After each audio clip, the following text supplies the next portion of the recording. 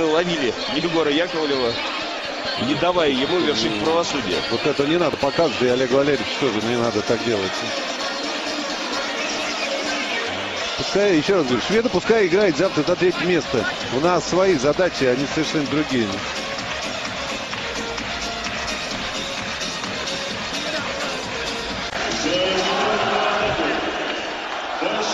Знаров там приглашает пообщаться с шведских коллег еще в перерыве.